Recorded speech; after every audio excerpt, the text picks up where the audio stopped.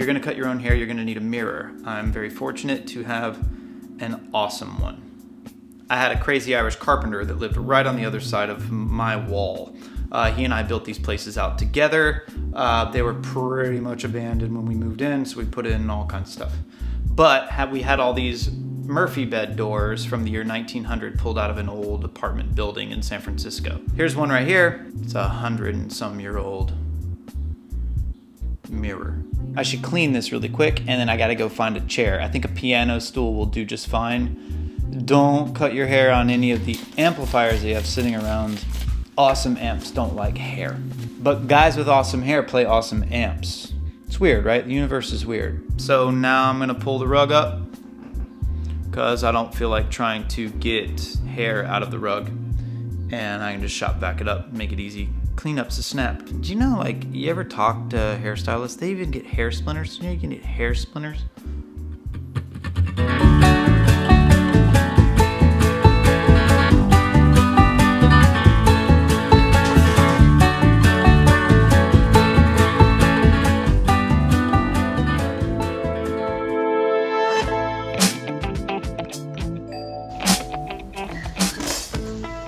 You there, Fancy? Fancy, are you there? I am now Fancy. here. All right. Um, we have a uh, issue, and it's my hair. That's not my problem. All right, so you're gonna have to. Um, you don't have to do anything, but uh, I would love it if you would talk me through um, making this svelte. Uh, for a price, yes, we can do right, this. You need you're, you're gonna need some tools right. though. So right. open your care package. okay, I have a package. care package. All right. Let's see. So I have rat tail comb. Yes, very important. right. Rat tail comb.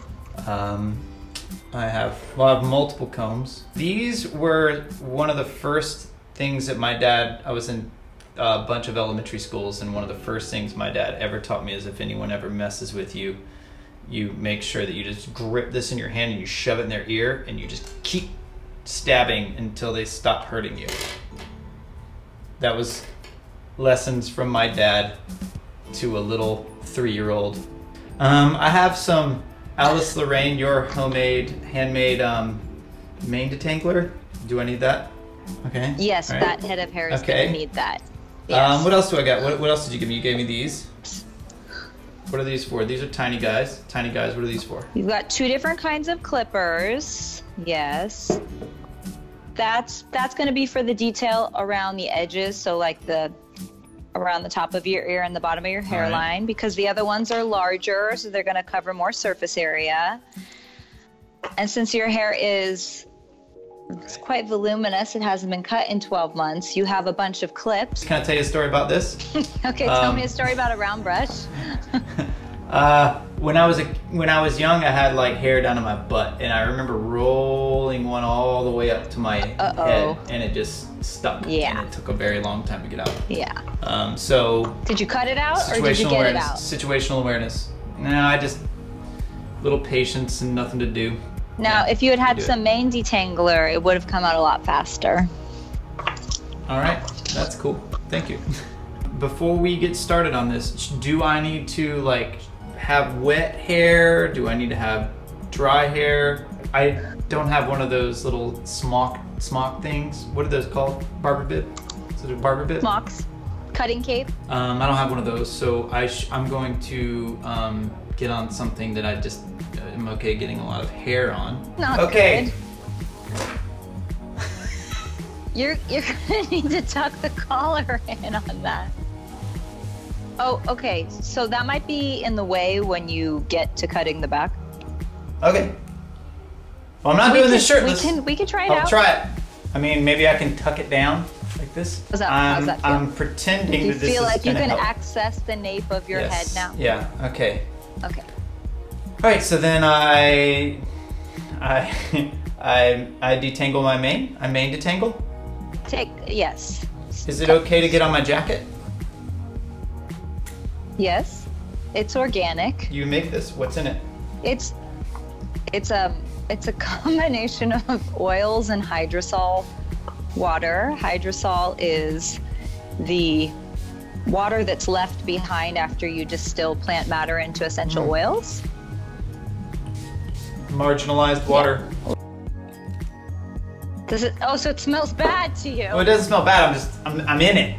I'm in it. I'm living it right now. Every, no, your stuff smells good. Yeah. Wait, let me get underneath. My hair's like a beaver. Doesn't, uh, doesn't allow for water to penetrate it. Spirit animal is either a beaver or an otter. more. Shit, that looks good. Sleekly through your hair. Yeah, you don't Alright, need a cut now. Baby boy's popping. Do you have a reference photo of what you want your haircut to look like? Um.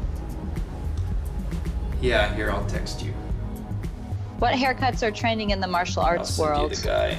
Whatever cut Keanu Reeves has. His reference photo was Jason Momoa with hair about as long as mine, just- maybe a little I bit just hear, shorter. I just, no one will shut up about that guy. I kind of want to. I kind of want to meet him and hang out with him. He actually seems pretty rad. All right, so I've sprayed. Yeah. Now take your large tooth. Okay. but don't make that face when you're doing it. They're gonna Oh, think oh, it wait, sorry. bad. All right, and then I take my large tooth comb. Which one is that? Yes. The one with the widest teeth. Okay, so The teeth. The teeth are these thingies. The one with the widest teeth to get. This yes, one. correct. Start at the bottom of your hair and just comb all the way up. You're just detangling at this Oh, point. It's so easy with that mane detangler.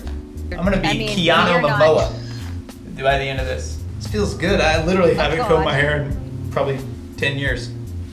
Oh man, that feels really good. Now I know why dogs like Yeah. Oh, it's fluffy. Okay. So now.